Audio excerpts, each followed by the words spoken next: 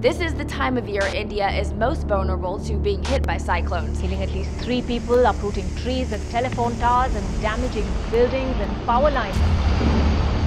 Jammu and Kashmir has not had a natural disaster on this scale in living memory. This is the worst floods that's hit the state in the last six decades.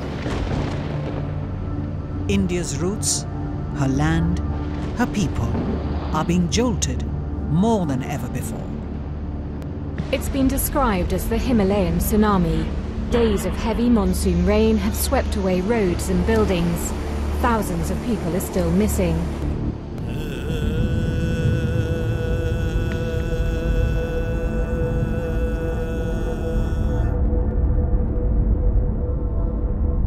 The flood situation in Jammu and Kashmir is very grim and steadily deteriorating. The number of dead in the floods has reached 148.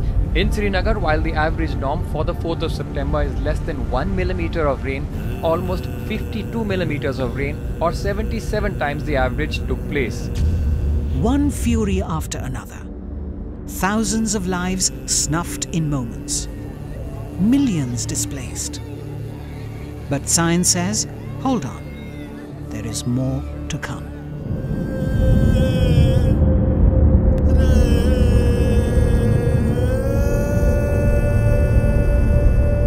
The impacts of climate change pile up in the extremes.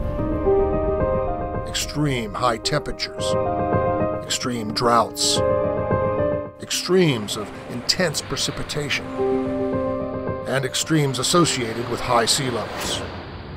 In Uttar Pradesh's Hamirpur district, devastated after his standing rabi crop was lost to the rain, Indrajit committed suicide in his own field.